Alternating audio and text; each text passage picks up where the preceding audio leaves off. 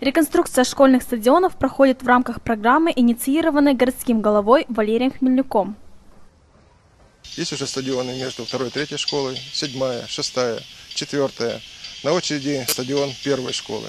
В этом году мы закончим проектирование, в следующем году мэр поставил задачу, чтобы мы, соответственно, занялись и реконструкцией стадиона школы номер один. Таким образом, э, каждая школа в городе получит современный стадион. Мы думаем, что это и будет продолжена эта традиция или эта программа и на сельские школы. Укладку тартанового покрытия на стадионе школы номер 6 выполняло предприятие «Ривень» из города Киева. Технологически достаточно сложная работа была выполнена за 10 дней. Они работают по немецкой технологии, имеют договор и лицензию от немецкой фирмы, которая непосредственно разработала технологию укладки тартанового покрытия. Стоимость тартанового покрытия здесь это 703 тысячи гривен. Они отнеслись добросовестно, даже уложили тартановое покрытие без аванса, начали укладывать его без авансирования строительных работ, используя собственные средства, так как выполнили полностью свои договорные обязательства. Тартановое покрытие беговых дорожек имеет ряд преимуществ, не последним из которых является возможность проводить здесь спортивные мероприятия более высокого уровня. Это покрытие, естественно, несравнимо с теми асфальтовыми дорожками, которые были до этого. Э, для занятий э, физкультурой, спортом, естественно, э, удобнее заниматься на данном покрытии. Естественно, что уровень принимаемых команд будет расти. Будут приезжать, я так надеюсь, не только с Украины, но и с других стран СНГ и ближнего зарубежья. Тартановое покрытие, прежде всего, это безопасность детей. Вот.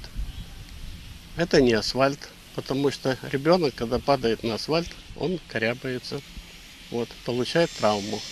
Тартановое покрытие, оно мягкое, оно смягчает ну, удар, если будем говорить точно. Вот. Во-первых. А во-вторых, оно хорошо э, кармарирует э, со спортом. Вот.